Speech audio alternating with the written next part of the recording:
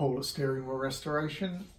Here we have an Austin A125 Sheerline steering wheel and uh, we put a new rim on this steering wheel. The customer particularly requested it being in a, a walnut finish as you can see. We've uh, endeavoured to give it a, a burr walnut finish like his dashboard. But we've also recoated the boss, polished the spokes and fixed the adjusting nut which had some splits in it but that's an Austin A125 shear line.